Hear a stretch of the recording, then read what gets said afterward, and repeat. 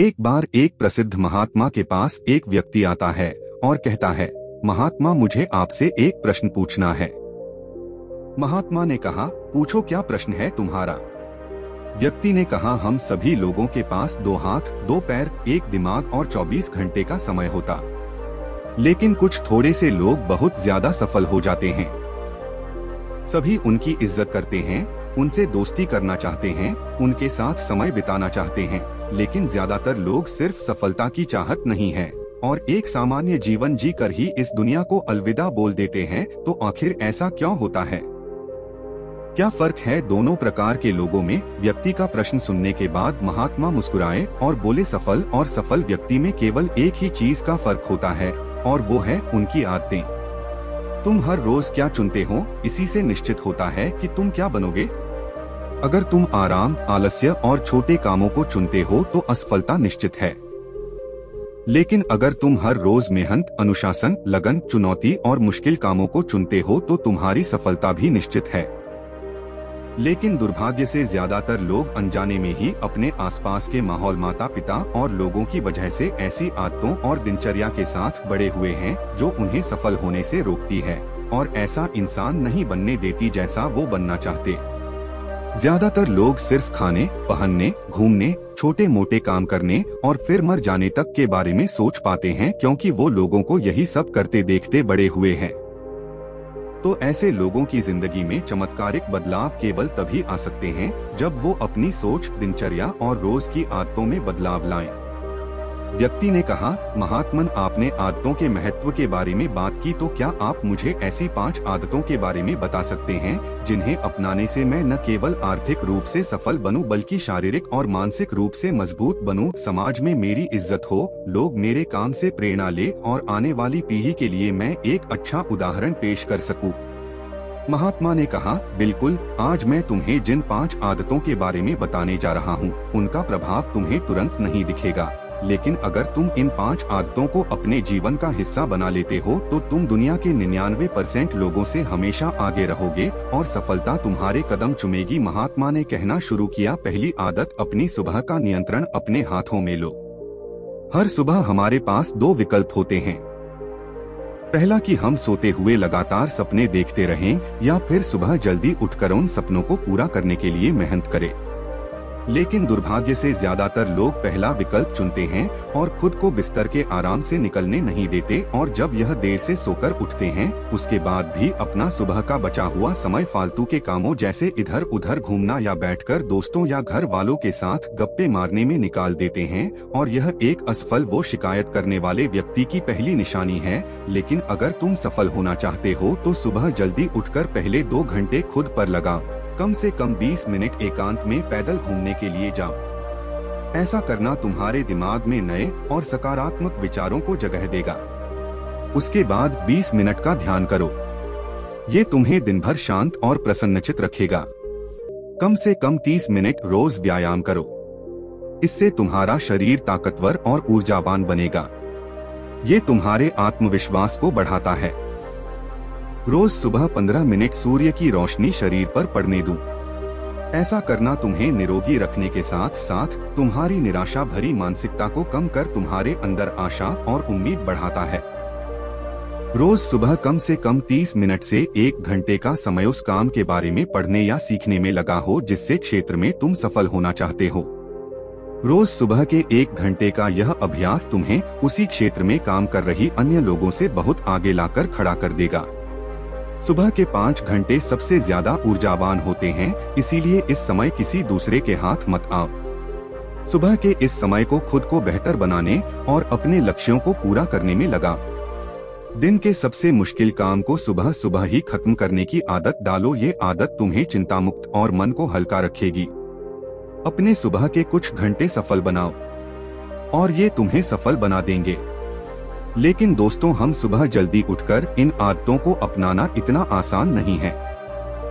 इसके लिए पहले हमें अपना माइंड सेट डेवलप करना पड़ेगा और सुबह जल्दी उठने के लिए आपके माइंड सेट को डेवलप करने में आपकी हेल्प करेंगे।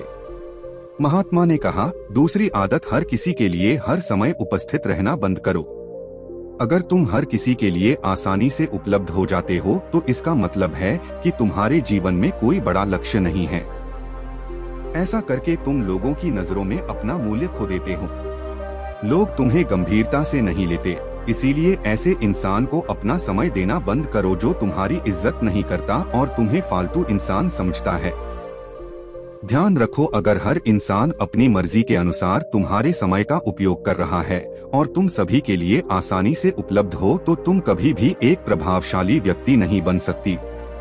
तुम्हारी इस कमी की वजह से लोग तुम्हारी अच्छाइयों पर भी ध्यान नहीं देंगे और तुम्हें हल्के मिलेंगे।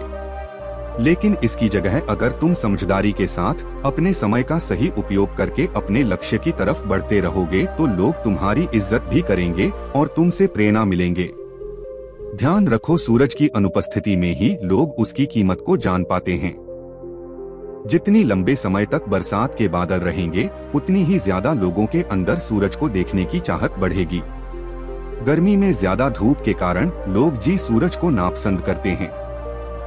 सर्दी और बरसात में लोग उसी सूरज का इंतज़ार करते हैं। लेकिन तुम्हें सिर्फ़ लोगों को दिखाने के लिए अपनी उपस्थिति को कम नहीं करना, बल्कि तुम्हें कम उपस्थित रहना है, क्योंकि तुम अपने समय की इज़्ज़त करते हो और अपने काम को लेकर गंभीर हो। महात्मा ने आगे कहा, तीसरी आदत, जल्दी निर्णय लेना सीखो। कमज़ोर विचारों वाले लोग हर निर्णय को लेने में समय लगाते हैं, लेकिन जो उच्च प्रदर्शन करने वाले लोग होते हैं, वो जल्दी निर्णय करते हैं और काम पर लग जाते हैं। जल्दी निर्णय लेने वाला इंसान देर से निर्णय लेने वाली इंसान से हमेशा आगे रहता है, क्योंकि देर से निर्णय लेने वाला इंसान जब तक सोचेगा और हर संभावित विकल्प के बारे में विचार करेगा, तब तक एक निर्णायक व्यक्ति निर्णय लेकर काम भी शुरू कर चुका होगा और ज़रूरत पड़ने पर खुद को या अपने योजना को बदल चुका होगा। इसीलिए निर्णायक बनो तुरंत निर्णय करने की काबिलियत होना एक बहुत बड़ी ताकत है। बिना ये जाने कि जो निर्णय मैं ले रहा हूँ, वो एक सौ परसेंट सही है या नहीं? मुश्किल समय में ऐसे निर्णय लेने के लिए बहुत ही आत्मविश्वास और हिम्मत की ज़रूरत पड़ती है। लेकिन जल्दी निर्णय लेने का फ़ायदा यह है कि किसी भी समय ज़रूरत पड़ने पर हम बदलाव कर सकते हैं। अक्सर लोग यह कहते हैं कि जानकारी एक ताकत है, लेकिन ये हर समय सही नहीं है। ज़्यादा जानकारी तुम्हें नुकसान पहुँचा सकती है।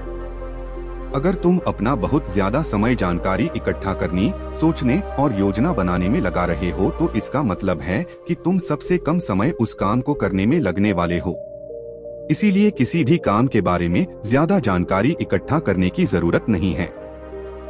कुछ समय लेकर ठीक से सोच लो, लेकिन जब एक बार निर्णय ले लिया तो उसी के साथ चिपके रहो जब तक कि उसे बदलना बहुत ही ज़रूरी ना हो जाए।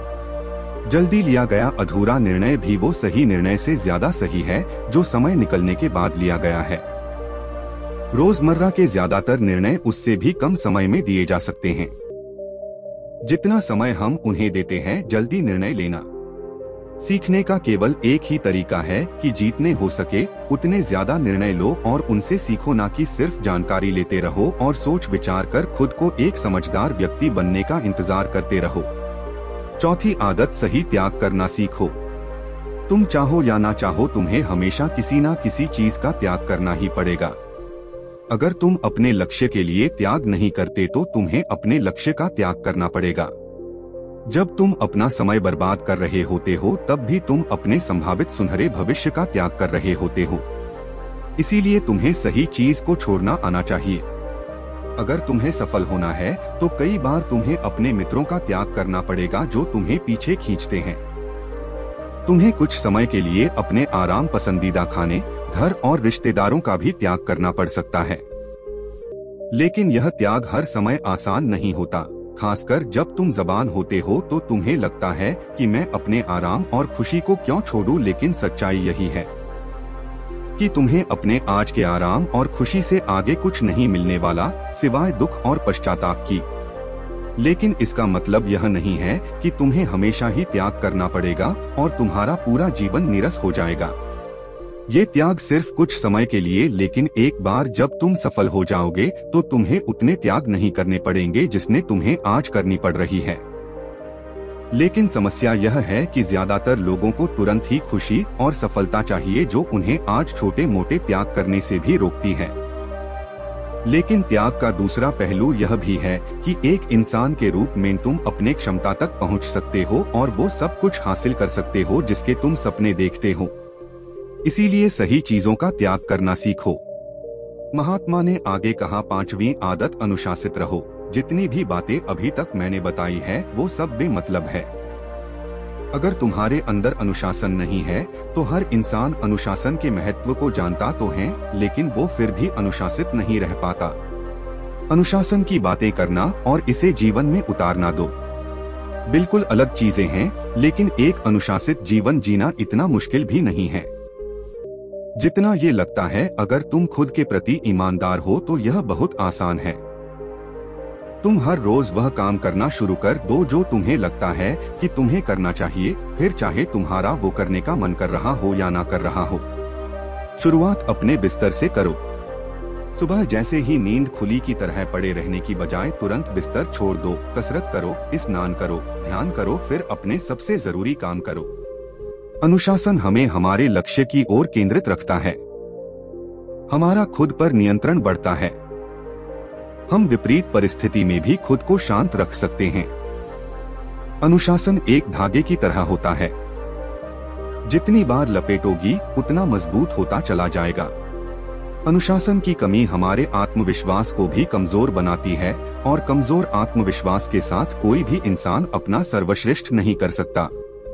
इसीलिए अपने अंदर की कमजोरियों के खिलाफ लड़ते हुए रोज अपने अनुशासन को मज़बूत करते चले जाओ, क्योंकि अनुशासन के द्वारा ही दूसरी अन्य आदतों का अपनी सफलता के लिए उपयोग किया जा सकता है।